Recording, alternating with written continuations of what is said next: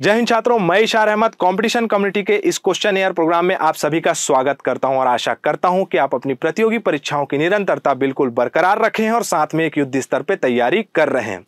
और ये नाम सुन के थोड़ा कंफ्यूजन आया होगा दिमाग में, थोड़ा कन्फ्यूज़ हुए होंगे तो कन्फ्यूज़ नहीं होना है, आसानी से समझते हैं।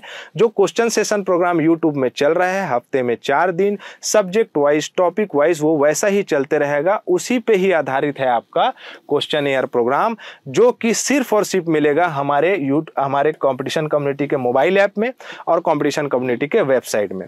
अब इसको एक्सेस करने का तरीका भी समझाता हूँ, लेकिन उससे पहले याद रखना है, इसके फ़ायदे क्या है, इसमें आपके परफॉर्मेंस नज़र आएँगे, वो कुछ इस प्रकार से होंगे। देखिए कि जो बच्चा पूरे हफ़्ते चार दिन अच्छा परफॉर्म करता है और फ़र्स्ट रैंक में आता है तो याद रखिएगा, उस बच्चे को मंथली करंट मैगजीन जो है करंट मैगजीन जो मंथली होती है, हमारी आती है कंपटीशन कम्युनिटी की, वो मिलेगा फ्री ऑफ़ कॉस्ट ठीक है ई बुक रीडर के माध्यम से।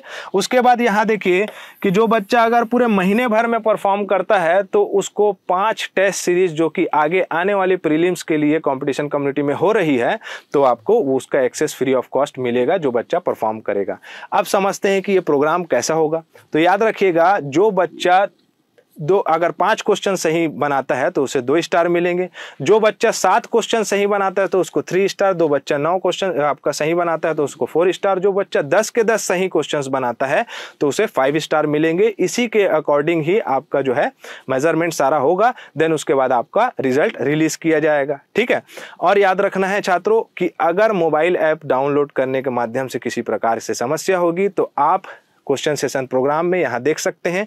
क्वेश्चन सेशन प्रोग्राम के नीचे में डिस्क्रिप्शन बॉक्स में आपका मोबाइल ऐप का लिंक दिया हुआ है, उसे क्लिक करेंगे। देन आप गूगल स्टोर में जाएँगे। गूगल स्टोर में डाउनलोड करना होगा उसे और डाउनलोड करने के पश्चात आपका क्या होगा?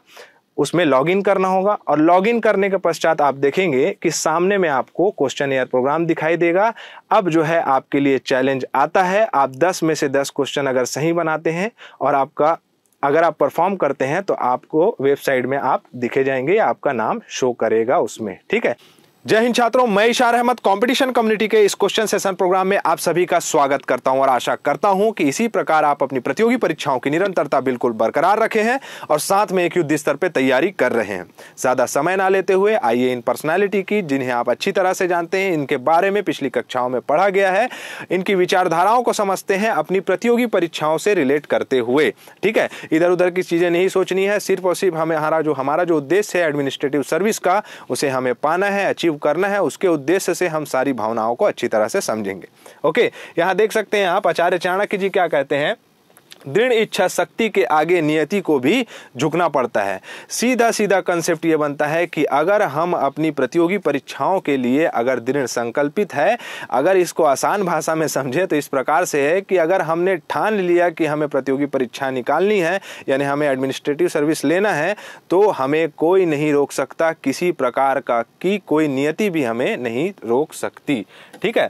तो याद रखिएगा, हमें इसी प्रकार से अपनी निरंतरता बरकरार रखना है और साथ में एक युद्ध स्तर पर तैयारी करते रहना है। तो ज़्यादा समय ना लेते हुए आइए प्रारंभ करते हैं भारतीय इतिहास, जो हमारा विषय चल रहा है। मैं हमेशा आप लोगों को बताता हूँ, यहाँ देख सकते हैं, भारतीय इतिहास हमारा विषय चल रहा है।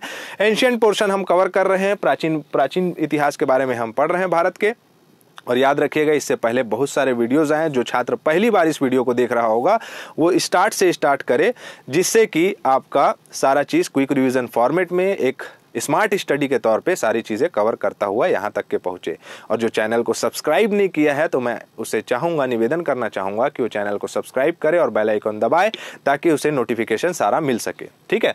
और प्राचीन आक्रमण, यहाँ थोड़ी गलती हुई है, क्षमा चाहूँगा छात्रों। प्राचीन भारत में विदेशी आक्रमण इसका टॉपिक होना चाहिए तो वो समझना है, भावनाओं को समझिए और आपका आगे बढ़ते हैं हम। ठीक है? इतना समझ में आना है। प्राचीन भारत में विदेशी आक्रमणकारी जितने आए उसे हम समझते हैं लेकिन उससे पहले जानना है एक तथ्य।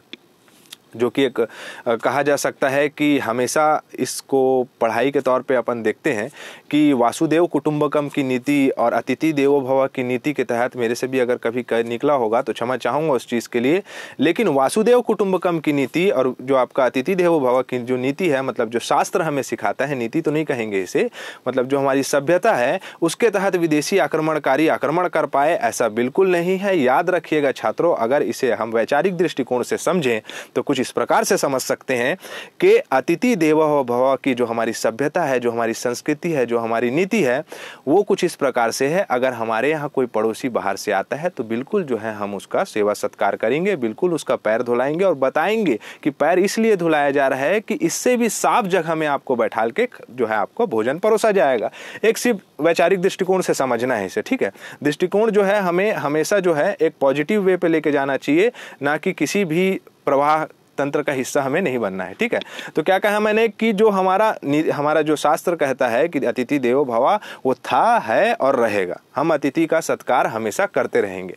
वासुदेव कुटुंबकम का शास्त्र हमें बताता है, हमारा शास्त्र सिखाता है, वासुदेव कुटुंबकम का शास्त्र। उसमें यह है कि विश्व जो है हमारा घर है। और विश्व हमारा घर है तो हम विश्व को क्या देखते हैं? अपने पूरा घर के समान हम देखते हैं मतलब हमारा कुटुंब का क्षेत्र है विश्व।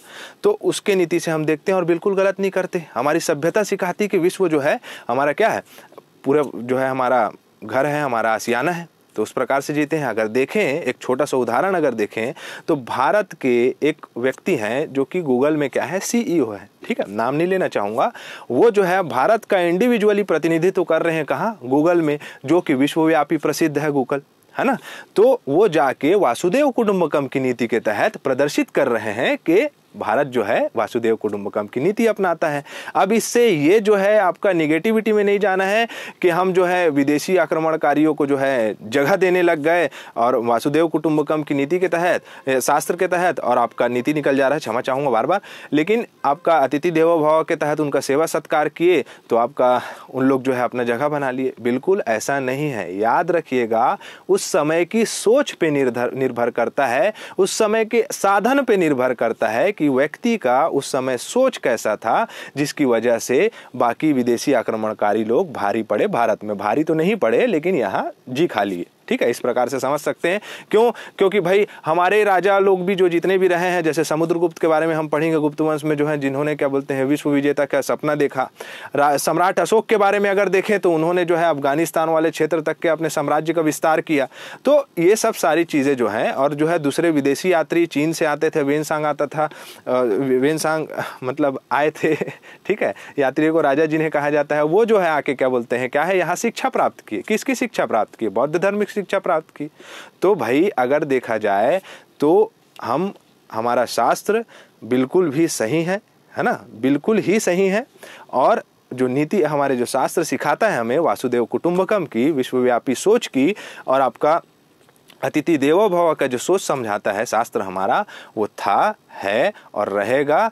इसकी वजह से कोई अवहेलनाएँ नहीं हुई है, ये दिमाग में बैठा लेना है, ठीक है? अगर यही सोचो कि अगर किसी देश का मुखिया हमारे यहाँ आता है और हमारे देश के मुखिया के साथ वो मीटिंग करता है तो अगर वो जो है आपका शस्त्र का उपयोग करता है तो याद रखिएगा छात्रों, मैं बार बार इस पे बल क्यों दे रहा हूँ कि वासुदेव कुटुंबकम की सभ्यता जो है एकदम परफेक्ट है, उसकी वजह से आक्रमण नहीं हुआ है। आपका अतिथि देवो भव की नीति के शास्त्र के तहत जो है आपका आक्रमण नहीं हुआ है। हमारा शास्त्र हमें क्षत्रिय धर्म का पालन करना भी सिखाता है, याद रखिएगा। तो जो है, किसी प्रकार की अवहेलनाएँ, मानसिकताएँ जो है अपने अंदर नहीं बैठालनी है, और ज़्यादा एक्सप्लेनेशन में नहीं जाऊँगा, मुखिया वगैरह की बात कर रहा था, हमें राजनीतिक दृष्टिकोण से नहीं समझना है, लेकिन सिर्फ़ समझाने के लिए बोल रहा हूँ कि हमारा शास्त्र हमें क्षत्रिय धर्म का पालन करना भी सिखाता है। अगर कोई शस्त्र और अस्त्र का उपयोग करता है तो हम जो है, क्या नहीं करेंगे? रोटी नहीं बेल रहे हैं, ठीक है? तो इस प्रकार से समझना है। देन इतना क्लियर हुआ होगा, आशा करता हूँ आप लोग को। और नहीं हुआ होगा तो एक बार फिर से दोहरा के देखिएगा, अच्छी तरह से समझिएगा। ज़्यादा समय ना लेते हुए आइए, स्टार्ट करते हैं। ठीक है? तो प्राचीन भारत में अगर देखें तो सबसे पहले यवन आक्रमणकारी, ईरानी आक्रमणकारी, जिन्हें कहा जा सकता है, ये तीनों आक्रमणकारी जो आपको यहाँ दिख रहे हैं, बैक्टीरियन, ईरानी, फारसी, यूनानी बैक्टीरियन या यवन, ये आक्रमणकारी सबसे पहले आए जब हमने पढ़ा गुप्त वंश, सॉरी, गुप्त वंश बोल रहा हूँ आपका। मौर्य वंश पढ़ा हमने तो मौर्य वंश के पहले धनानंद के शासन काल में सिकंदर ने आक्रमण किया था। ठीक है, सिकंदर आक्रमण करना चाहता था, जो कि भारत के उत्तर पश्चिमी वाले क्षेत्र में सफल रहा। किस वजह से? आम्भिक ने अधीनता स्वीकार कर ली, ठीक है, हमारे थाल में ही छेद था, और जो प्रतापी राजा था पोरस, उस जो उसने युद्ध किया, लेकिन युद्ध करने के पश्चात हार गया, और उसने जो है, ना चाहते हुए भी उसकी अधीनता स्वीकार कर ली अपनी जान को बचाने के कारण। ठीक है, इस प्रकार के तथ्य हमें, हमने पढ़े ठीक है। तो याद रखना है, छात्रों, कि ये सबसे पहले इतने चीज़ों में अपने को याद रखना है, आपका सिकंदर हो गया। उसके बाद हो गया डेमेट्रियस और मिनांडर हो गए। उन लोग भी आक्रमण किए थे ना, कब किए थे? पुष्पमुत्र शुंग के काल में। अभी आगे सब चीज़ मिलेगा आपको। तो ये क्लियर कर रहा हूँ कि दिमाग में एक स्ट्रक्चर सेट होना चाहिए, जिससे सारी चीज़ें हमको याद हो सके और पेपर हॉल का प्रेशर हम यहीं से मेंटेन कर मतलब रिलीज़ कर दें। ठीक है? उसके बाद आपके मिलेंगे पल्लव आए पार्थियन कहा जा सकता कहा जाता है, थीसियन आए जिसे शक। उसके बाद यूची शासक जो है कुषाण। ये दोनों एक दूसरे के भाई भाई हैं। एक दूसरे से लड़के आए। ठीक है? उसके बाद जो है, हुड़ आक्रमणकारी हुए। तो याद रखना है कि इतना सारा चीज़ हमारे दिमाग में क्लियर होना चाहिए। अगर नोट्स बना रहे हैं तो एक बार जो है, इन सब सारी चीज़ों को सिक्वेंस से रख लीजिए। आगे बढ़ते हैं ये। उसके बाद दिखाई दे रहा है कि सबसे पहले मैंने क्या कहा? कि सिकंदर ने सबसे पहले आक्रमण किया। ठीक है? सिकंदर ने आक्रमण किया सबसे पहले। 326 ईसा पूर्व में विश्व विजेता बनना चाहता था। हमारे यहाँ के भी राजा समुद्रगुप्त विश्व विजेता बनना चाहते थे।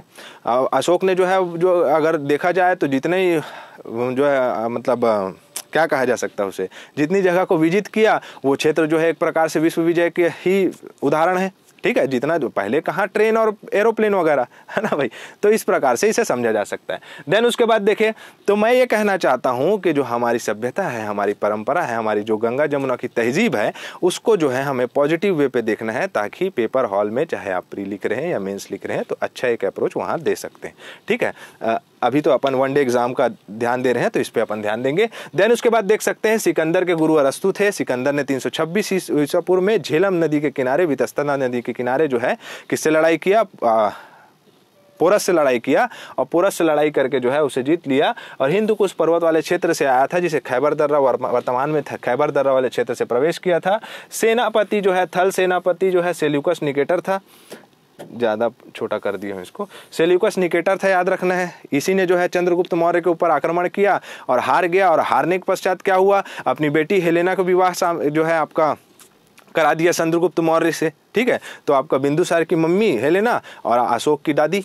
इस प्रकार से याद किया जा सकता है। बस एक रिलेशन बता रहा हूँ।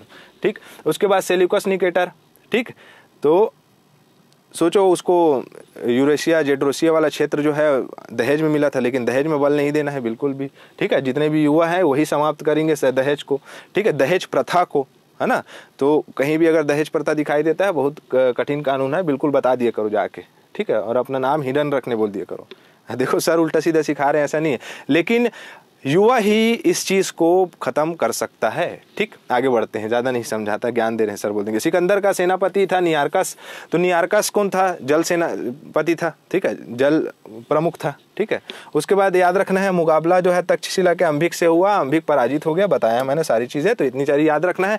अब जो मेन देखा जाए कि मेन स्ट्रक्चर क्या बनाना है तो मेन स्ट्रक्चर बनाना है। पहले इंडो ग्रीक बनाना है, जिसे बैक्टोरियन कहा जाता है, यवन। फिर उसके बाद शक शासक फिर पार्थियन पहलाव फिर यूची कुषाण जिसको सिक्वेंस वाइज आइए पढ़ते हैं, एकदम दिमाग में सारी चीज़ें सेट करके।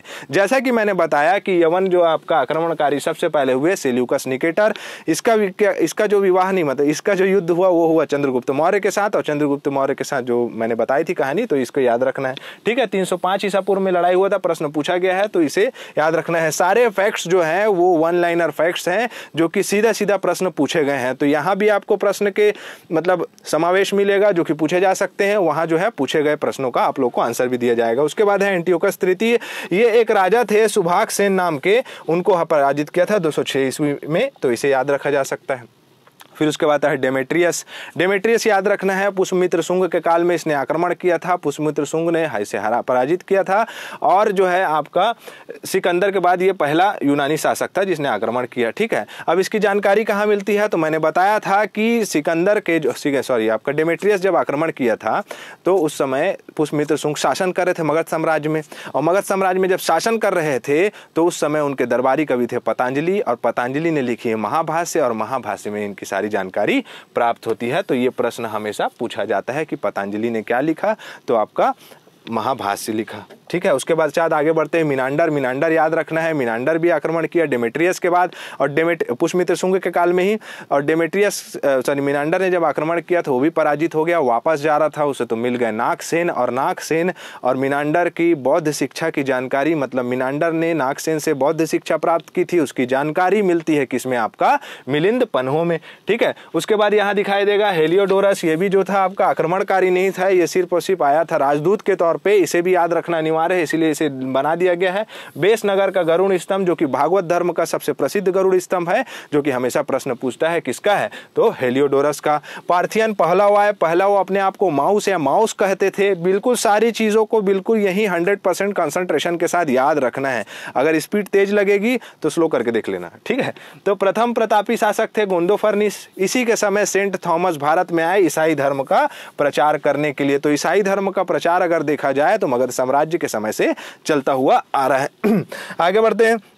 देन उसके बाद आता है शक। शक आक्रमणकारी जो है आपका मोस्ट इंपॉर्टेंट याद रखना है शक आक्रमणकारी, जो कि हम पढ़े थे आपका सातवाहन काल में। एक शक आक्रमणकारी था नहपान। नहपान को किसने हराया? तो नहपान को गौतमी पुत्र साप्तकर्णी ने हराया और गौतमी पुत्र साप्तकर्णी ने नहपान को हराया और ये सिद्ध किया कि जो आपका, यहाँ आप हमारे साथ शासन नहीं कर सकते। ठीक है? जो सातवाहन वंश नहीं देखा है, वो जाके पहले सातवाहन देख ले, फिर उसके बाद इसे रिलेट कर सकता है। उसके बाद मिलते हैं आपका रुद्रदामन। रुद्रदामन का याद रखना है कि रुद्रदाम ने कि पुल्लुवामी वशिष्ठी पुत्र पुल्लुवामी को हराया था रुद्रदामन ने, जिसकी जानकारी मिलती है खंबात के खाड़ी वाली क्षेत्र में, जूनागढ़ में। जूनागढ़ में मिलेगा आपको रुद्रदामन का जूनागढ़ अभिलेख, जिसमें जो है आपकी इसकी जानकारी प्राप्त होती है। ठीक है? फिर उसके बाद आते हैं यूची शासक और यूची शासक आते हैं तो याद रखना है कि इसे ही यूची शासक या कुषाण शासक कहा जाता था, जो कि इनको जो है भगाए थे मध्य एशिया वाले क्षेत्र से, मध्य एशिया मतलब भारत के उत्तर पूर्वी वाले क्षेत्र से, और इनको इनको पकड़ते पकड़ते इनके पीछे वापस आ गए थे। ठीक है? आइए आराम से एक तो छोटी सी जगह में समझा देता हूँ कि मान के चलो, ऐसे हल्का छोटा सा एक भारत का नक्शा बना लेते हैं, भाई ये सिक्किम रहा, ये त्रिपुरा और मिजोरम, ये भारत तैयार हो गया। ठीक है, इस प्रकार से अपने हिसाब से। यहाँ से आए थे सबसे पहले शक, ठीक है? और इन लोग यहाँ से कौन इनको मतलब पीट पाट के बाहर भेजा था? तो यही यूची शासक कुषाण वाले, कुषाण वंश के लोग ही जो है भेजे थे, ठीक है? तो कुषाण लोग भेजे थे किनको? शकों को। है ना, जो कि यहाँ अपनी अब छोटी छोटी शाखा बना के बैठे थे डिटेलिंग क्लास में देखो, समझ में आएगा। उसके बाद इन लोग भी जो है, इनका पीछा करते करते वापस आ गए और यहाँ प्रशासन करने लगे। यहाँ कश्मीर भी इनका केंद्र रहा है, जिसमें कनिष्क ने अपना प्रशासन किया और चौथी बौद्ध संगीति कराई और चौथी बौद्ध संगीति हंड्रेड एडी में हुई थी। आगे में पढ़ेंगे। देखिए, याद रखिएगा कि यूची शासक आक्रमणकारी आए, जिसमें भारत में कुषाण वंश के संस्थापक थे जो आपका कुडुल कट कुजुल कट फिशर्स। फिर उसके बाद आते हैं विम कट फिशर और कुजुल कट के बारे में पढ़े। तो इन्होंने जो है रोमन सिक्के चलाए, जो कि किसके थे? तांबे के सिक्के चलाए। देन उसके बाद सोने के सिक्के के लिए भी बहुत कुषाण लोग प्रसिद्ध थे। अगर नियमित रूप से अगर कहा जाए कि किसने सोने के सिक्के चलाए तो आपका वो थे विम कटफिजस। देन उसके बाद है इस वंश के प्रतापी शासक कौन थे? कनिष्क, जिनके बारे में आइए पढ़ते हैं, कुछ डिटेलिंग देख लेते हैं। देखिए, इसके दो राजधानी थे, एक थे पुरुषपुर, जो वर्तमान में पेशावर, पाकिस्तान वाला क्षेत्र है। देन उसके बाद मथुरा वाला क्षेत्र। ठीक है, इनकी राजधानी रही है। कनिष्क के दरबार में जो है मोस्ट इंपॉर्टेंट ये इससे प्रश्न हमेशा पूछता है। याद रखिएगा अश्वघोष जो कि साहित्यकार थे, जिन्होंने बुद्ध चरित्र लिखा, इससे हमेशा प्रश्न पूछता है। ठीक है, और आपका इसने चौथी बौद्ध संगीति कराई थी हंड्रेड एडी में, कहा कुंडल वन, आपका कश्मीर वाले क्षेत्र में, और अश्वघोष और वसुमित्र इस समय क्या कर रहे थे, अध्यक्षता कर रहे थे, इस प्रकार से याद रखना है। देन उसके बाद नागार्जुन वैज्ञानिक थे, माध्यमिक सूत्र भारत का आइंस्टाइन कहा जाता है इन्हें। और याद रखना है छात्रों, कि अगर शून्यवाद दर्शन का किसी ने प्रतिपादन प्रतिपादन किया तो आपका किसने किया नागार्जुन ने। तो देखो, ये यहाँ आ रहे हैं, लेकिन इनके दरबार में जितने भी व्याख्यातित लोग, या व्याख्यातित लोग कहा जा सकता है, जितने ज्ञानी लोग हैं, सब यहीं के ही हैं। ठीक है? कनिष्क यहाँ भारतीय राम जैसा नज़र आ रहा है, लेकिन ये कोई बाहर के लोग नहीं है, ये भारतीय ही हैं। तो भारत की विशेषता अपने आप में एक मतलब व्यापक है। तो किसी प्रकार से भी निगेटिव डिस्क्रिमिनेशन नहीं रखना है। ठीक है? प्रवाह में नहीं बहना है। उसके बाद क्या है? चरक, इस चरक संहिता आयुर्विज्ञान का सबसे बेहतरीन और सबसे प्रसिद्ध बुक जो है बेहतरीन मेरे से ज़्यादा निकलता है।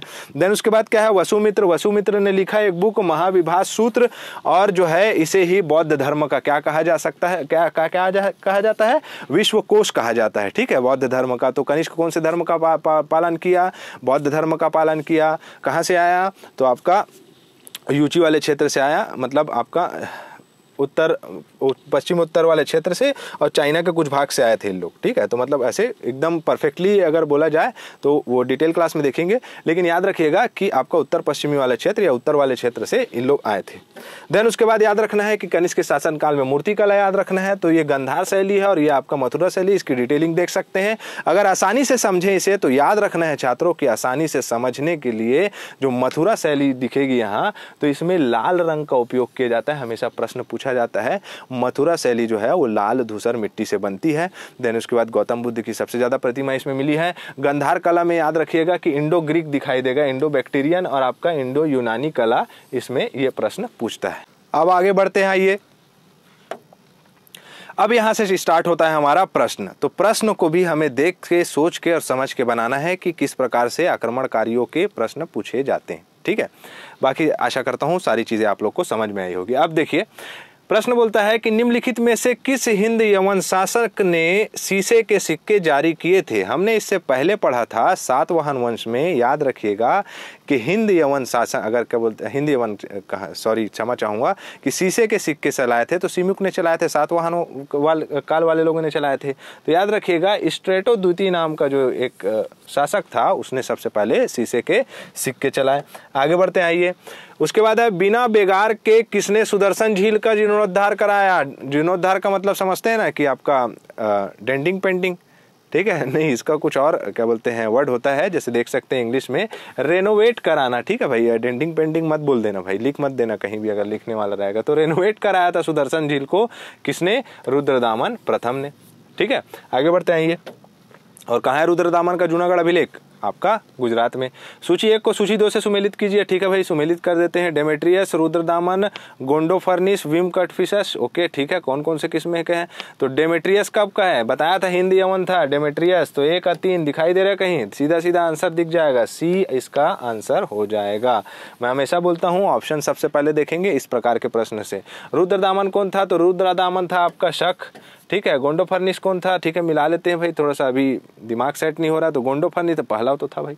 ठीक है, इस प्रकार से होगा तो वन हो जाएगा गोंडो फर्निश। और विम खट फिशस कौन था? कुषाण था। ठीक है, अभी पढ़े, कुडुल, कुजुल फट cut fishes, Vima Kadphises Kanishka क्षमा चाहूँगा तो तबीयत थोड़ी सी नासाज है।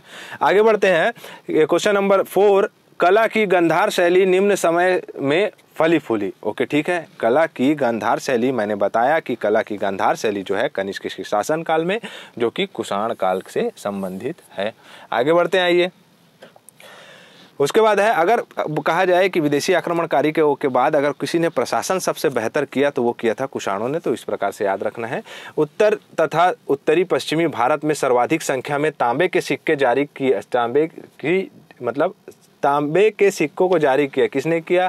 तो याद रखना है, तांबे के सिक्के बताया था कुजुल कटफिशस ने, कुषाण ने। उसके बाद है, प्राचीन भारत में निम्न में से किस एक ने नियमित रूप से सोने के सिक्के चलाए? तो नियमित रूप से अगर बोलेगा आपका शासक, शासन या आपका किस एक ने, किस एक ने मतलब वंश के आधार पर अगर प्रश्न पूछेगा तो प्रश्न लेना है हमें कुषाण। ओके? अब देखो, इसमें आपको एक राजा के आधारित भी पूछेगा, ठीक है? बुद्ध का सब किसके सिक्कों पर अंकन था? तो बुद्ध का अंकन किसके में था? जो बौद्ध धर्म का बहुत ही अच्छा अनुयायी था तो आपका कनिष्क के सिक्के में इसका अंकन मिलता है। देन उसके बाद अगला है, निम्नलिखित में से किस शासक को, दिखाई दे रहे हैं ना भाई? किस शासक को आपका सर्वप्रथम सोने के सिक्के जारी करने का श्रेय दिया जाता है। तो कुजुल कट फिशस जो है, वो आपका, कुजुल कट फिशस नहीं, विम कट फिशस होगा इसका आंसर, ठीक है? तो इस प्रकार से याद रखना। आगे बढ़ते हैं, आइए। अगला हमारा, निम्नलिखित में से दिखाई दे रहे हैं ना आप लोग को एक्चुअली फॉन्ट को इसने बड़ा कर दिया, उसके वजह से सेट होने का, थोड़ा मैं पीछे हो जाता हूँ। यहाँ क्या है, निम्नलिखित में से किसने भारत में स्वर्ण सिक्कों का प्रचलन नियमित उपयोग के लिए किया? अभी देखो, प्रश्न पूछने का नज़रिया अलग हो गया है, लेकिन इसका आंसर ही वही होगा, आपका विम कट फिशस ने जो है आपका सिक्का चलाया था। ठीक है श्रेय जाता है। विक्रम संवंत कब से प्रारंभ हुआ? पेचीदा प्रश्न है ये। देखिए विक्रम संवंत और शक संवंत। शक संवंत कब हुआ? 78 एडी कब? कनिष्क के शासन काल में। ये प्रश्न इसलिए रखा गया है कि इसे याद रखना अनिवार्य है। हमारे राष्ट्रीय अगर कहा जाए कि मतलब भारत में अगर किसी आ, मतलब कैलेंडर का उपयोग किया जाता है है ना? तो वो आपका सक्संवंत का उपयोग किया जाता है। जैसे कि आपने सुना होगा, चैत्र, बैसाख, ज्येष्ठ अषाढ़ सावन भादो कुंवर, कार्तिक, माघ, पौष, अगन, फागुन, ये जो है आपका, इसी के अंतर्गत आता है। तो 78 एडी में जो स्टार्ट हुआ था शक सेवंत और जो विक्रम संवंत चालू हुआ था, वो गुप्त काल के समय में आपका 70 57 ईसा पूर्व मतलब 57 बीसी अब आप लोगों के लिए एक प्रश्न दिखाई देगा यहाँ, जिससे ये पता चलेगा कि आप लोग की पढ़ाई कैसी चल रही है। और बिल्कुल कमेंट बॉक्स में इसका आंसर दीजिएगा। इसी, इसे किसी भी प्रकार से जो है आप ईगो में ना लें, बस मैं चाहता हूँ कि आप इसका आंसर जो है आपका कमेंट बॉक्स में दें, ठीक है? और अपना आकलन करें। ठीक है, उससे ज़्यादा कोई उद्देश्य नहीं है तो बिल्कुल अलग अलग वे पे नहीं जाना है। आगे बढ़ते हैं ये अश्वघोष किसका समकालीन था? तो अश्वघोष किसका समकालीन था भाई? अश्वघोष याद रखना है बुद्ध चरित्र लिखा था इसने तो चंद्रगुप्त मौद्वितीय नहीं, कहा गया? कनिष्क। ये हो गया कनिष्क का समकालीन था, ठीक है? आगे बढ़ते हैं ये अगला है प्रश्न, सूची एक को सूची दो में सुमेलित कीजिए, आगे देख लेते हैं, ठीक है? कोर्ट से आंसर लीजिए, वो बोल रहा है। ओके, ठीक है, देख लेते हैं, इंग्लिश मीडियम वाले के लिए नहीं भाई, क्षमा चाहूँगा, ठीक है? तो आगे देख लेते हैं तो गंधार कला तो गंधार कला किसका है आपका? गंधार काला कुषाण सीधा सीधा दिखाई दे रहा है, ऐसे करके मिला देते हैं। ठीक है तो एक तीन दिखाई देगा, एक का तीन, फिर से वैसे ही प्रश्न आ गया क्या भाई? देख लो भाई, यही आंसर होगा। ठीक है? जूनागढ़ शिलालेख किसका है? तो भाई रुद्र दामन का दिख रहा है फोर, बिल्कुल सही है। मिलिंद पन्हो किसका है? मिनांडर से रिलेटेड है। तक्ष तछीला होगा तक्ष शिलालेख होगा ये, ठीक है? तो पतिक से संबंधित है। इस प्रकार से इसका आंसर होगा। लास्ट का वन कैसे दिखाई दे रहे हैं? कुछ ना कुछ गड़बड़ है।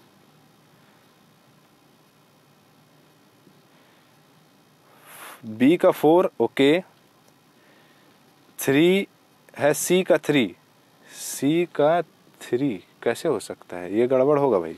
ये इसका आंसर नहीं होगा। कुछ ना कुछ यहाँ गड़बड़ है। ठीक है ऑप्शन में कहीं उल झोल है। तो इस प्रकार से आंसर इसका नहीं लेना है। ठीक है? तो क्या लेना है? गंधार कला कुषाण। तो क्या हो जाएगा इसका? तीन। ठीक है? जूनागढ़ शिला लेख किसका है? रुद्रदामन का। तो क्या हो जाएगा? फोर देन उसके बाद मिलिंद पन्हो किसका है तो मालूम है हमें, पढ़े मिनांडर। तो मिनांडर की जानकारी मिलती है तो आपका ये हो जाएगा एक, है ना? देन उसके बाद आपका तक्षशिला लेख जो है आपका पतिक लिखाया रहेगा तो इसका आंसर हो जाएगा टू तो ये हो जाएगा इसका आंसर इस इस प्रकार से इसे समझा जा सकता है। टाइपिंग में कहीं ना कहीं इसमें मिस्टेक है। ठीक है, आगे बढ़ते आइए। अगर उसमें कुछ किसी प्रकार से त्रुटि होगी तो क्षमा चाहूँगा उससे। आगे बढ़ते हैं ठीक है? तो वैसे त्रुटि नहीं है उसमें, बिल्कुल सही है। अफ़गानिस्तान का बमियान प्रसिद्ध है। क्यों प्रसिद्ध है भाई? तालिबानियों ने जो है आपका बुद्ध की प्रतिमा को नष्ट कर दिया है, जो कि आपका बुद्ध की प्रतिमा के लिए बहुत विशेष एक प्रकार का उदाहरण था, ठीक है? उसके बाद है आपका, जो कला शैली भारतीय और यूनानी आकृति का सम्मिश्रण है, उसे कहते हैं। तो जैसे कि बताया मैंने, भारतीय और यूनानी दोनों का मिश्रण गंधार कला शैली कहलाएगी। अगर लाल बलुआ पत्थर पूछे रहता तो आपको मथुरा शैली रहती। ठीक है, आगे बढ़ते हैं। Periplus of the Erythraean sea किसकी लिखी बुक है? तो प्लीनी की लिखी हुई बुक है। ठीक है, आगे बढ़ते हैं, आइए। अब यह रहा आज का प्रश्न। इस इस प्रकार से है कि पहला ईरानी शासक जिसने भारत में कुछ भाग को अपने अधीन किया था, साइरस था कैम्बिसिस था या डेरियस प्रथम था या आपका सहार्स था? ये आप लोगों के लिए प्रश्न है। आशा करता हूँ आप इसका कमेंट बॉक्स में इसका आंसर देंगे।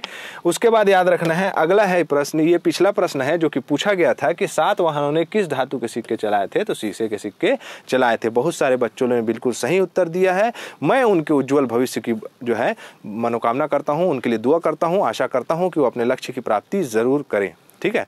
दुआ करता हूँ उनके लिए, आशा तो नहीं, लेकिन मैं दुआ करता हूँ कि वो ज़रूर अपने क्या प्राप्त करें एडमिनिस्ट्रेटिव सर्विस को। ज़्यादा समय ना लेते हुए इसी के साथ इजाज़त चाहूँगा छात्रों। जय हिंद, जय भारत।